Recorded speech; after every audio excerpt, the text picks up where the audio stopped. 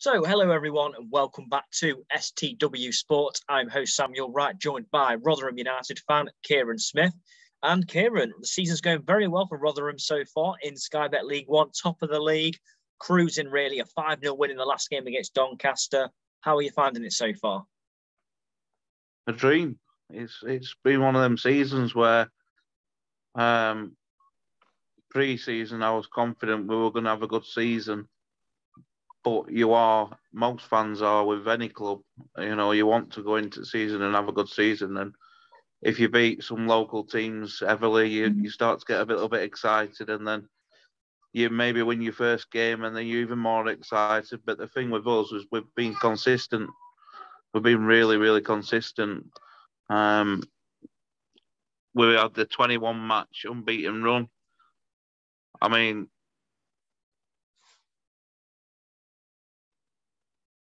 not really the norm to go 21 ga- games unbeaten, and I think we won we won 15 of those. Uh, so we've been very consistent. But if you look around the squad as well, Paul Warne's changed the lineup numerous occasions. It's not just a consistent 11. And if we get injuries, it's a massive problem what we're going to do.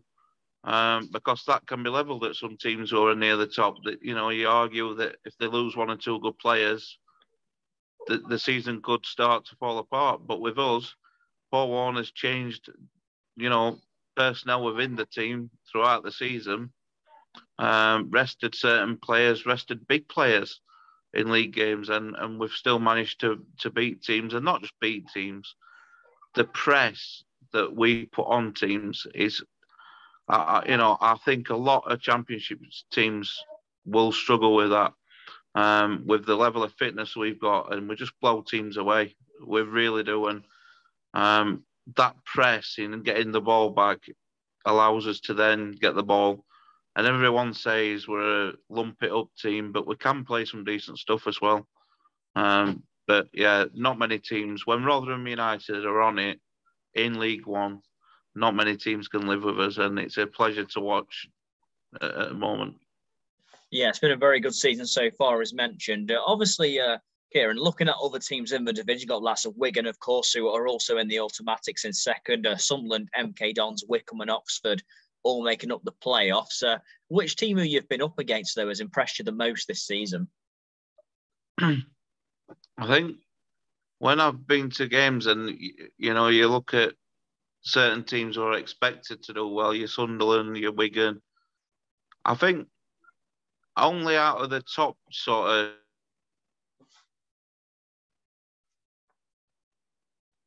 certainly not your Sunderland, your Plymouth, uh, your MK Dons, none of those. Um, I think we we were more than a match and, and better than them.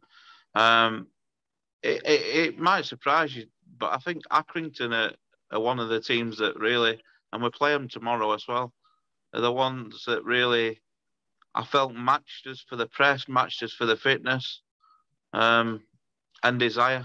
And I think desire goes a long way. If you put Accrington's desire into Sunderland's team, they would be top of the league. Um, I, I, you know, that's just my opinion. But Accrington are a team that has impressed me. Yeah. Yeah, in terms of the Accrington game tomorrow, Kieran, um, any score predictions from that? Obviously, did beat you 1 0 on Boxing Day, I believe. But uh, what are your thoughts going into tomorrow's game, especially with it being at the New York Stadium? Are you fancying yourselves to get the win? Yeah, I'm going to contradict what I've just said now. I just said Accrington are the, one of the teams that has impressed me, but after going to Doncaster on Tuesday night and watching us absolutely blow them away, like it were men and boys. I think regardless of what Accrington throw at us tomorrow, and as good as they are with their fitness and the desire that they've got, Rotherham start well. Rotherham get that first goal. I still think it'll be a heavy scoreline. Um, just because we've got goals, we've got quality, we've got goals all over the pitch. We've got Freddie Ladapo who sits on the bench nowadays, and he's on whatever eleven goals. Um, I'm not too worried who comes to the New York. We're very strong at home. We're very strong away, and I think as much as like I said, Accrington have impressed me. I can I can see us winning um, four one maybe. Yeah, and uh, looking at players this season, Michael Smith, I believe, on 16 goals for uh, Rotherham. Um, how have you found this season so far? My, uh, Michael Smith season? Yeah. Unbelievable. Um, he's one of those players where it's not.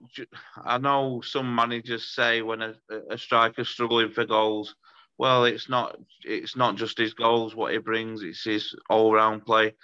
In in Michael Smith's uh, case, it really is the all-round game that he brings.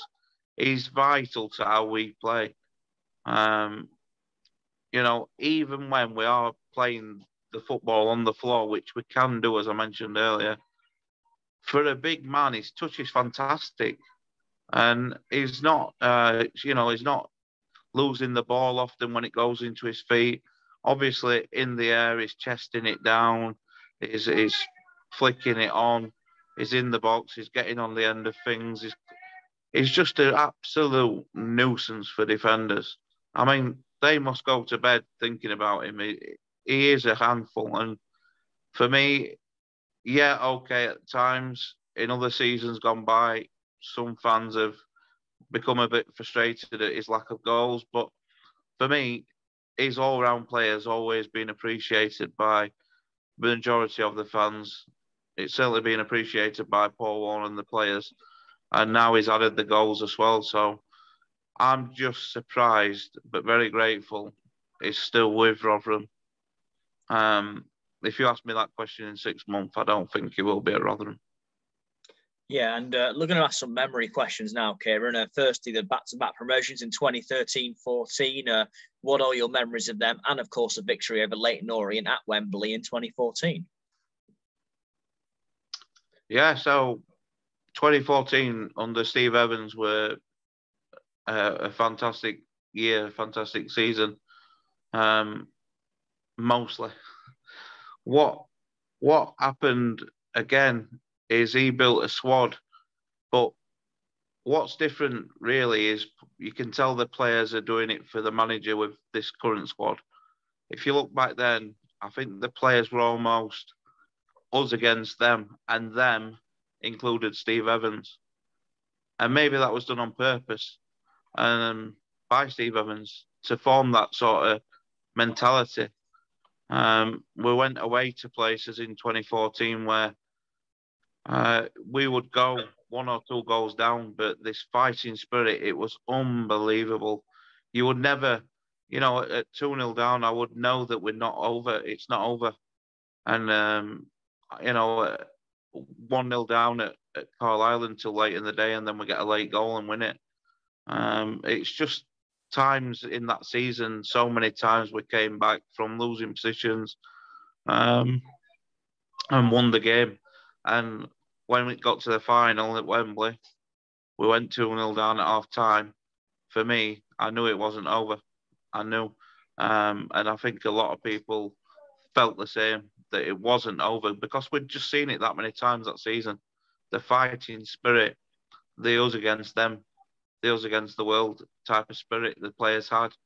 Um, it was just unbelievable. And to then get the two goals and take it to penalties. I'm surprised we didn't actually win it before penalties because again, the players had it within them to do it. Um, and yeah, obviously the scenes at the end um, when Adam Collin saved that penalty, it was just one hell of a magical day and something that will live long in the memory of every uh, Rotherham United fan and everyone connected with the club. And for me, you know, it was also a bonus and a joy to witness one of the best ever goals at Wembley in Alex Revell's finish. Yeah, absolutely. And then, of course, uh, the last six seasons now, providing you do go up this season, have involved a promotion or a relegation. Um, what's that right like, really, as a Rotherham fan, though? I mean, it's never a boring season, really, for Rotherham, usually in a relegation battle or a promotion race. Uh, what's it like being a Rotherham fan? Does it always give you that excitement going into every season? Yeah, in a sense, yeah, but obviously we don't want. No one wants to see the team relegated. Um, but yeah, it is. You know, I couldn't be a mid-table team constantly mid-table for many, many, you know, for season after season, um, which some teams are happy with, but that's up to them. Um, I think Rotherham, um, certainly under Paul Warne, too good for League One, but not. I wouldn't say not good enough for the Championship. I think what happens in the Championship is, for me, it's a mentality thing. Not just mentality, but I think it plays heavily. I think in League One, we're considered one of the big dogs, if you like. Although we don't get 23,000 supporters, we're still considered one of the big dogs in the league um, by most of the teams. Um, and I think that brings about a mentality when we go into games that other teams think, oh my God, we're playing Rotherham. Um, they'll be up there this season. And yeah, managers say it in the in the interviews. When we go to the championship, we're one of the lower teams saying, "Oh my God, we're playing West Brom today.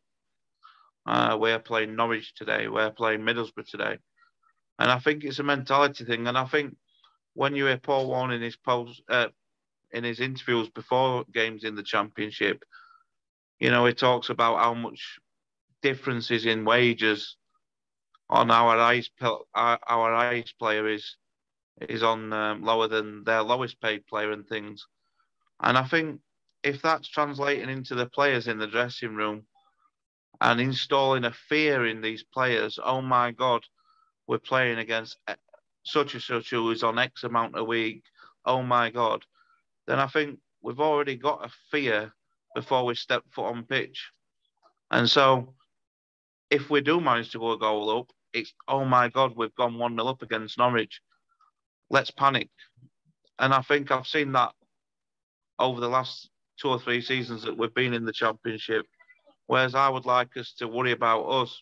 I would like us to forget who we're playing and almost go out with, there with an ignorance and just play the way we play in League One.